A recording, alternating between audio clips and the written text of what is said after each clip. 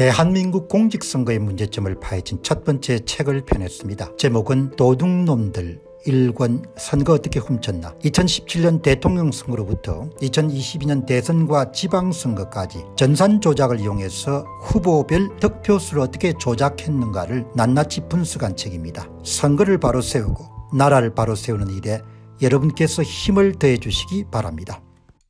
뭐 어마어마하게 강경적으로 가네요. 자 여러분 보시게 되면은 너희들 돌아와. 안 돌아와? 그럼 면허 정지시켜? 그리고 고발해? 군대 보내? 이렇게 하는 겁니다.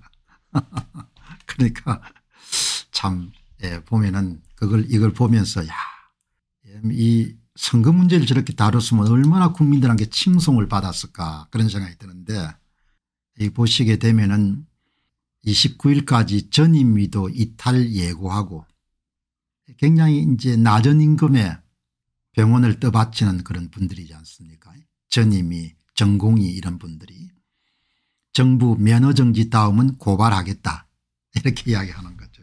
검찰 스타일 같습니다. 내가 보니까. 정부는 26일 병원을 이탈한 전공의들에게 29일까지 복귀하라 불응하면 행정 행사 처벌하겠다 이렇게 이제 이야기를 한 거죠. 선거로 뭐 소재로 아마 좋은 소재다 이렇게 밑에 사람들이 아마 보고를 했는 모양이에요. 그렇지 않고서는 이렇게 총선 전에 이 어마어마한 일을 어마어마하게 상황 판단한 거죠. 총선 이후에 당연히 다뤄야 될 주제거든요. 제가 방송 아주 오래전부터 이야기하지 않습니까 이 주제 처음부터 다루면 안 된다 이야기죠. 아무리 훌륭한 거라도 그렇게 이제 뭐 다뤄버렸으니까 뜻이 뭐 없는 거지 않습니까 한국인들이 참 이 의료 서비스를 싸게 공급받고 있지 않습니까? 그 이제 의료 서비스를 싸게 공급받는 것은 의료 수가 자체가 굉장히 낮지 않습니까? OECD 뭐 비교를 많이 하는데 의료 수가 자체가 굉장히 낮고 의료 수가가 예를 들면 뭐 한 30년 정도 크게 변화가 없지 않습니까? 인건비는 계속 오르는데 의료 수가가 여러분들 계속해서 묶여 있으니까 그러니까 과잉 진료도 하고 의사들이 몸을 때우는 거죠. 다시 이야기하면 환자를 많이 보게 되는 겁니다. 그렇게 해서 이렇게 굴러온 거죠. 건강보험 지출 추이를 보게 되면 나라 입장에서도 그렇게 여러분들 할 수가 없죠. 그렇게 많이 의료 수가를 지불할 수가 없습니다. 그러니까 이제 낮은 의료 수가를 커버하기 위해 가지고 급여 진로 외에 비급여 진로도 계속 생겨났고 그 이제 적자가 생기니까 적자를 커버하기 위해 가지고 일단 몸을 때우는 거죠. 환자를 많이 보고 그다음에 또 이제 전공 분야에 관해서는 비급여 진로 쪽이 있으면 그게 이제 굉장히 발달이 되는 거죠. 그렇게 이제 되는데 대학병원도 여러분들 뭐 덕을 많이 봤다 이렇게 하지만 대학병원도 의사분들의 일이 지시나 이런 걸 받아가지고 여러분들 진로에 임하는 그 전임의 전공의 이런 분들이 거의 뭐 낮은 임금으로 일을 하잖아요. 그래서 지금 대형 병원들이 그럭저럭 이렇게 돌아가는 거지 않습니까 30년 동안 의료 수가는 거의 변함이 없었다 이렇게 보면 정확할 겁니다. 그러니까 그렇게 좀 뭘 차분히 따져보지 않고 그냥 전부가 뭡니까? 다 그냥 의사놈들 다 도둑놈들이다 이렇게 했다니까. 내가 내가 여러분들 참 그게 관련이 직접 안 된 사람이지만 어떻게 똑같이 박근혜 대통령 탄핵시킬 때 그 모양새가 또 데자뷰처럼 반복이 되냐.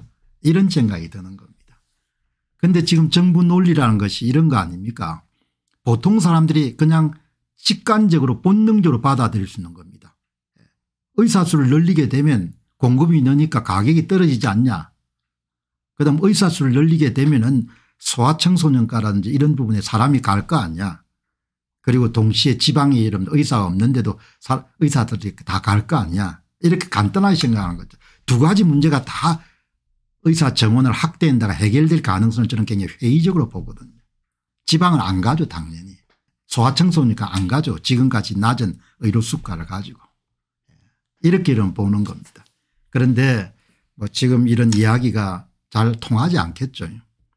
아마 제가 볼 때는 지금 이 한 10분의 1 정도 될 겁니다. 경제개발협력기구의 여러분들 의료수가에 비해 가지고 한 연구소를 연구 보고서를 보니까 일본 경우에는 한 3배 정도 더 받는다고 하니까 키키타님 말씀처럼 얘가 진적에 이야기한 것이 너무나 일을 처리하는 것이 거칠다는 표현을 썼지 않습니까 좀 섬세함이 필요하거든요. 뭐 이런 이야기 또 이제 뭐 기분 나빠하시는 분도 계시지만 내 이야기는 차분하게 문제의 본질이 뭔지 비본질이 뭔지 잘 따져가지고 사회적 갈등이나 비용을 줄일 수 있는 방법을 해야 되는 거지. 본질은 그냥 두고 비본질을 갖고 나와가지고 떠드는 거지 않습니까 그래서 내가 오죽 여러분들 그거 하면은 윤 대통령이 저 용기에 여러분들 100억 분의 1 정도만 가져도 대한민국 선거 문제가 벌써 다 해결됐다는 거지 않습니까 이렇게 가면은 안 되는 거죠. 이렇게 제 이야기의 요지는 뭐 설득을 잘 못하지 않습니까 설득을. 지금 여러분들이 이제 의사 정원을 이렇게 늘려놓게 되면은 그러면 이제 그 다음에 이제 의료비 지출이 늘어날 거 아닙니까 그걸 누가 감당할 겁니까 당연하지 않습니까 의사 수가 늘어나면 의료비 지출이 늘어나겠죠. 그럼 그걸 누가 감당할 겁니까 그걸 감당하지 못하면 그다음 그다음에 이제 민영화 이야기가 나오겠죠. 이렇게 참 쿠바가 비슷한 상황이죠. 쿠바가. 여러분 쿠바가 대부분이 공짜로 여러분들 의료 서비스를 제공하지 않습니까 턱없이 여러분들 의사의 임금이 낮은 거죠. 그래서 이런 쿠바 쿠바 의료기술에서 좀 뛰어난 사람들은 다 외국을 나가버리지 않습니까 어떻게 저렇게 거칠게 일을 쳐야 하는지 참 보면은 딱하다는 생각이 들고 머리가 상당히 경직적이라는 생각이 드는 거죠. 보건복지부 관료들도 그렇습니다. 이러니까 참 앞으로 어떻게 이제 문제를 해결해 갈지 이제 오늘 여러분들 의사 문제하고 관련해서 중앙일보가 조금 논조를 그래도 이 정효식 사회부장이 글을 썼네요. 예, 글을 잘 썼습니다. 잘 썼는데 여기서도 이제 뭐 어떤 문제가 있는 거 하니까 그러면 여기 보시게 되면 이런 이야기가 나오거든요. 여기 의료시장이 양극화가 됐고 예, 흉부외과 소아청소년과보다도 안과 정형외과 재활의학과 신경외과 등이 이제 돈을 좀 많이 버는데 이제 그 과들은 대부분 비급여 의료가 있는 겁니다.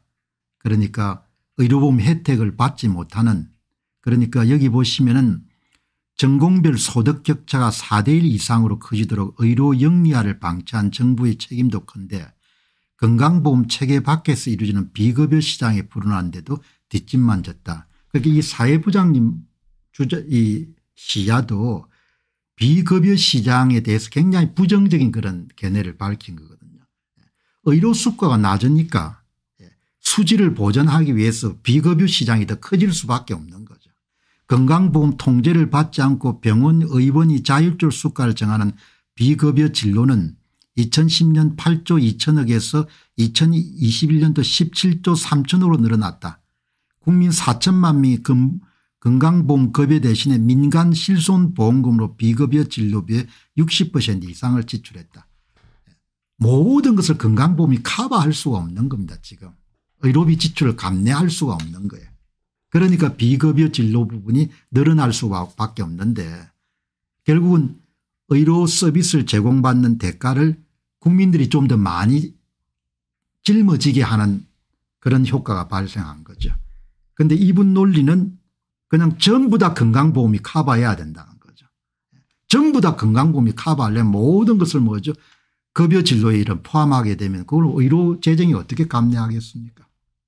그래서 내 이야기는 좀 생각 좀 하고 생각을 좀 하고 이렇게 가야 되는데 이 논리도 그래도 비교적 좀 객관적인 시각을 유지하려고 노력하지만 예, 이게 비급여 분야가 왜 생기느냐? 예, 의료 수가가 하도 낮으니까 의료 수가가 하도 낮으니까 그걸 어디다 보전을 해야 될까 보전을 하기 위한 것이 비급여 시장이 커진 겁니다.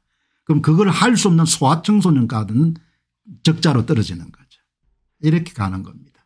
그러니까 단순하게 의사수 정은 늘리게 되면 은 의료비가 떨어지고 그다음에 뭐 이렇게 필수 의료 분야에 사람이 간다 그런 논리는 내가 봐도 이게 내가 비의료인이지만 내가 봐도 말이 안 되는 이야기거든요.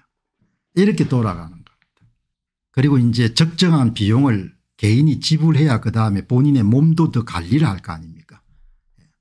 과잉 의료가 지금 발생하고 있지 않습니까? 조금만 되면 다 병원 찾아서 약을 이만큼 다 타니까.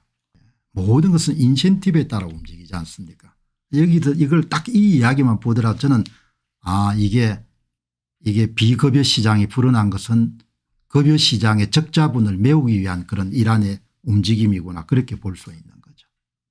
이게 아주 비판적이거든 상급 종합병원은 물론이고 2차 종합병원 지역 병의원들은 비급여 시장을 활용한 수익 극대화에 앞도또 나섰음을 물론이다. 워낙 여러분들 다른 수가가 낮으니까 적자가 발생하니까 이걸 카바를 겁니다. 그러니까 참 생각이 하는 게 뭐 이렇게 모든 사람에게 그걸 기대할 수는 없으니까 그러니까 박근혜 대통령 탄핵을 당하는 겁니다. 다르게 이야기하게 되면 그게 옳다는 이야기가 아니고 예. 한 방향으로 너무 심하게 쏠리고 대부분 사람들이 그렇게 예, 공공 이슈에 대해서는 따져볼 생각을 안 하는 겁니다. 그냥 한쪽 방향으로 다 줄을 서는 거죠. 그렇게 보는 겁니다. 어쨌든 나라 전체가 예, 좌편향적인 그런 쪽으로 흘러가니까 의료 분야라고 해서 피할 수가 없지 않습니까 예, 여러분 정치인만 나무랄 수가 없는 것이 나라 전체의 민도와 나라의 평균적인 사람들의 생각이 정부의 역할을 계속 여러분들 늘려가는 쪽으로 찬성을 하는 거지 않습니까 그러니까 그쪽으로 그냥 모든 것이 흘러가는 겁니다. 제가 담대하게 이런 세상을 한국 사회를 보는 것은 그 소위 역사에서 어떤 그 분기점을 지나가지고 그렇게 사람들의 생각이 예, 모든 것이 정부가 다 해주기를 바라는 겁니다. 건강보험이 모든 걸 다 커버해 주기를 바라기 때문에 생산 계층에 있는 사람들이 더 많은 비용을 부담해야 되고 생산 계층에 있는 사람들이 더 많은 세금을 부담하는 쪽으로 날아가는 겁니다.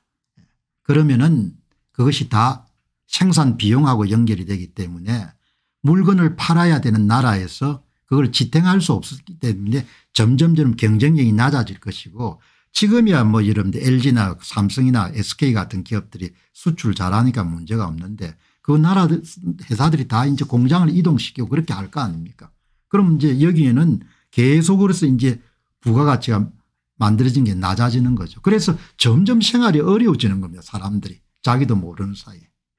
그렇게 여러분들 돌아가는데 그게 큰 흐름이 사회 흐름이라는 것이 그렇게 국가 영역을 계속해서 확대하는 쪽으로 나아가는 것이고 그게 뭐 이제 보이지 않습니까?